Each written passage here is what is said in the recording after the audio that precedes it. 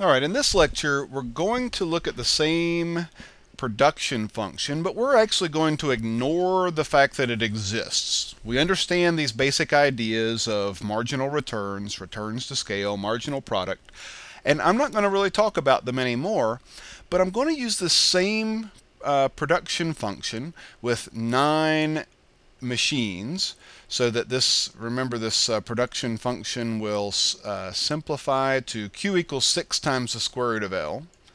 And we're going to assume that is still what governor governs our uh, production, but we're going to not look at those details of how many workers am I hiring and where does all this come from.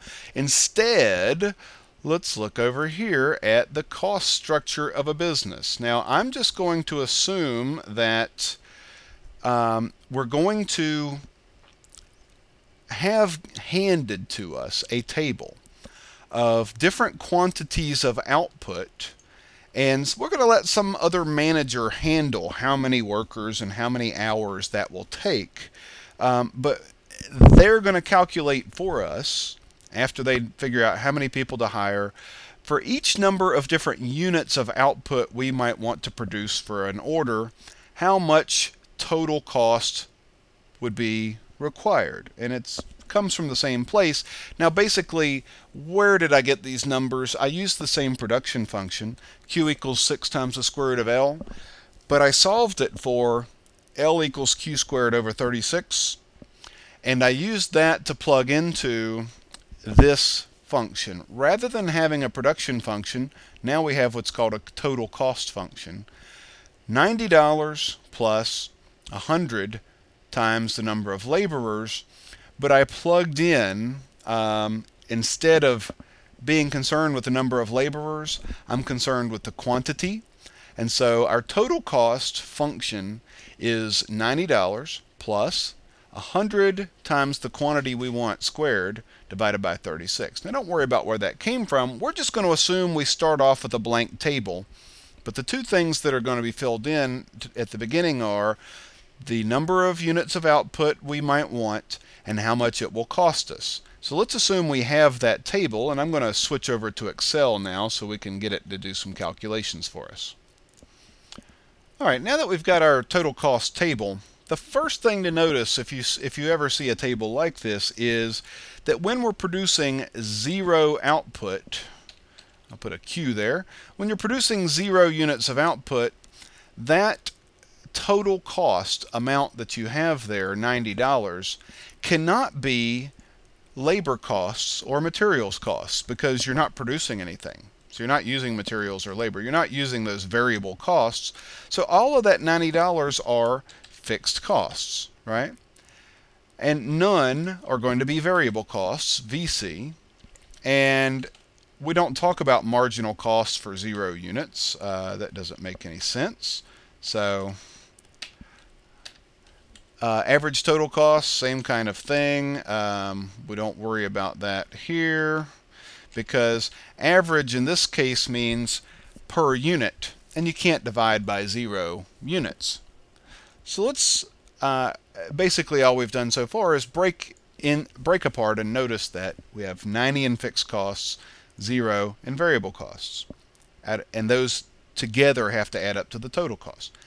Now for one unit, if that's all we wanted, our total cost would go up to $92.78. So what's the marginal cost of that one extra unit? Well, it cost us $2.78 to produce. So let me just go ahead and put that over here. Marginal cost means additional cost for that one additional unit we got. And since we're just looking at one unit, it's a little simpler calculation. Our fixed costs are always going to be 90, so let me just copy those down. Fixed costs are fixed. That's why we call them fixed. At least they're fixed in the short run. That's the amount of money for our uh, machines, but also another thing that's in there is what we call normal profit, which is basically what the entrepreneur needs to be paid in order to make it worth his while or her while to stay in this business. To get the variable cost, it's very simple. You just take the total cost, subtract off how much are fixed to get how much are the variable costs for things like labor and materials. So I'll just set up a formula here in Excel to do this for us. Equals, uh, in my spreadsheet, it's B14 minus 90, right? 90 is the fixed costs. And I can copy that formula down. And this will just tell us how much of our total costs are made up of the variable costs for labor and materials. Now, marginal cost is how much additional cost do I have to produce each of these additional units. Now, you can do this two ways. You can either calculate how much are your total costs increasing, or you can calculate how much are your variable costs increasing, because they're both increasing by the same amount. The only difference between the two are the fixed costs, and they're not changing at all. So we can just calculate, again, I'll use a formula here for simplicity, equals uh, how much are my variable costs now minus how much were my variable costs before I produced this unit. So this $8.33 tells us that that second unit increased the amount of our bills, our costs, by 833, and so that's how much that second unit will cost us to produce by itself. Now our average total cost gives us an average figure per unit. How much are all of our bills? How much are all of our costs per unit?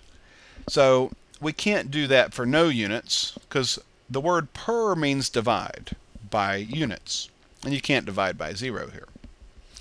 Now, so total cost divided by 1 gives us average total cost. I'll set up a formula, but you can see that that's just going to be 92.78. So equals that divided by the quantity. That tells us that per unit for the one unit, all of our bills are 92.78 per unit. For two units, our total costs are $101, but divided over the two units we have, and that's $50 per unit, $50.56 per unit. Copy that down. What is this useful for? Well, it gives us a way of looking at how much money is going out per unit, and it gives us something to focus on about how much money needs to be coming in per unit we sell. So we keep our eye on the price that we can sell our units for, and we compare it to the, so think about price as the money coming in per unit. Average total cost is the total amount going out per unit. So amount of money we have to be bringing in. Otherwise, we're not going to be able to make a profit or pay all of our bills, pay all of our costs. Now, average variable cost, we do the same thing for variable cost here, $2.78 divided over the number of units we're producing. And let's copy that down and we can talk about what a couple of those mean. For example, um, right here, this $11.11. That tells us that per unit, well, total it's $44.44 in labor costs when we produce four units. So that's $11.11 each that we're spending on labor costs. This gives us a number to focus on to make sure that at a minimum we're going to bring in enough money to pay our laborers with, our labor and materials bills. And fixed costs, same kind of idea. We're just going to take this $90 and divide it over the number of units that we're producing.